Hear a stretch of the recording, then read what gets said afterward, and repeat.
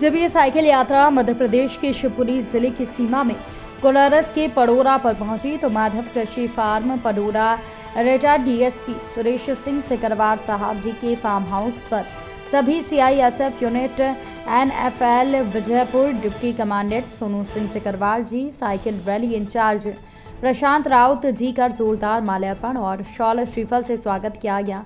उसके बाद सभी ने चाय नाश्ते और फलों का स्वल्पाहार लिया। सभी भारत माता की सेवार्थ और सैनिक बहुत खुश हुए। सिकरवार साहब और उनकी टीम को बहुत धन्यवाद दिया। ये सभी मौजूद रहे। इनमें हेमंत व्यास, भीमा यादव, गोपाल अग्रवाल, शिवम शर्मा बहटा धर्मजीत यादव, पड़ोरा, राजेश यादव, छोटा रावत, नंदू आदि लोग मौजूद।